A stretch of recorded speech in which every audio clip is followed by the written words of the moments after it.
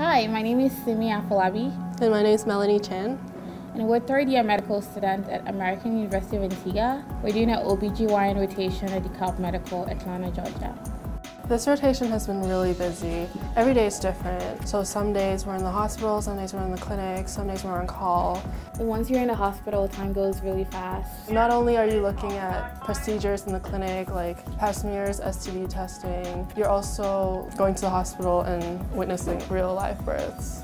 It's really good to actually get to see both parts of clinic and hospital because that really gives you right. a sense of what OB-GYN is going to be like.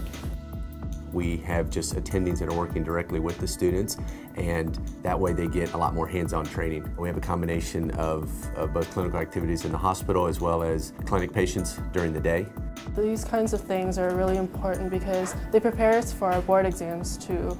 When we're in a clinical situation, you have to take all that you've learned in the first two years and you have to um, make it into a clinical situation where you can understand how to look at patients, how to work them up, and how to treat patients, which is a little bit different than the classroom situation.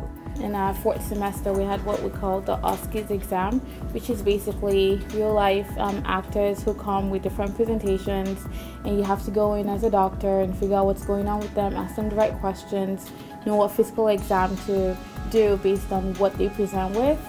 And um, all of that basically does prepare us for this rotation in our CS exams. For us, we really enjoy teaching these students. Um, we uh, typically invite them into the patient's room where they can do full histories and physicals. They do a comprehensive differential diagnosis for us. And then we're able to help guide them through the pathway of medicine and how you are able to become a detective and really solve what the patient's chief complaint is, um, the etiology of it is.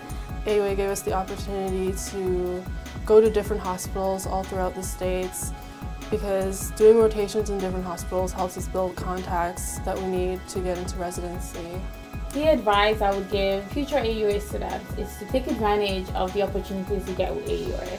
Whether it's back in the island with the professors, whether it's the hands-on experience that we get with patient care and learning how to be a good physician, it's going to come back and be useful to you when you're doing your clinical sciences. I really like how AUA prepared us for this rotation and all our rotations, starting from the first semester in basic sciences. All the techniques that we were taught there, we use in our rotations now.